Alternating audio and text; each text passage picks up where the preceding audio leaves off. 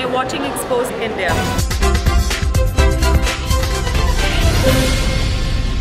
मध्य प्रदेश में कांग्रेस नेता और बीजेपी प्रदेश अध्यक्ष कमलनाथ के उस बयान पर अब बीजेपी और कांग्रेस में नोकझोंक शुरू हो गई है, जिसमें उन्होंने कहा था कि शिवराज मेरे मित्र हैं, लेकिन कुछ मित्र नालायक होते हैं। कमलनाथ के बयान पर शिवराज सिंह चौहान ने भी उनका जवाब दिया है। उन्होंने ट्विटर पर लिखा है कि हाथों की रेखाएँ हमारी भी बहुत खास है। तभी तो आप जैसे दोस्त हमारे पास हैं, जो सबसे हमेशा कहते फिरते हैं, बस कमल ही लायक है।